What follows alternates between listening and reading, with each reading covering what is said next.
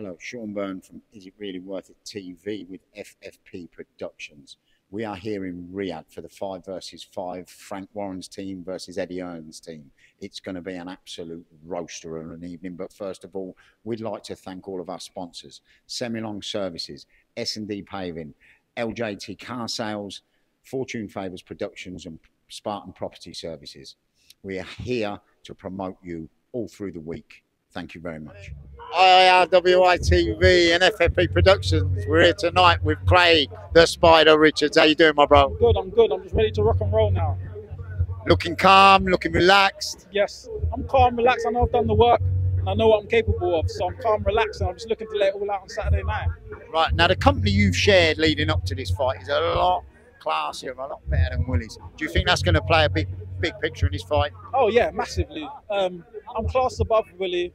I'm levels above him. He's not going to understand when he's in there. When I start doing certain things to him, he ain't going to understand what's going on. But I'm going to show him the levels for sure. How's your camp gone, Craig? My camp's gone brilliant. I've had great sparring coming in, um, great training with Shane McGuigan. He's diligent in what he does, and yeah, it's been perfect. I come here last week, done a few sessions, and I'm ready just to rock and roll. I think the relationship you and Shane have got it's just a solid, solid relationship, and I think it's flourish. You're, you're flourishing under him. Yeah, hundred percent. I've improved so much under him. Um, I'm getting better and better, and I'm just ready to show it Saturday night. I just want to show people what I've learned, what I've been doing in the gym, and yeah, it's time to show why I deserve to be at the top of this. Let's do this Saturday night, my bro. God bless you, mate. Take care, man.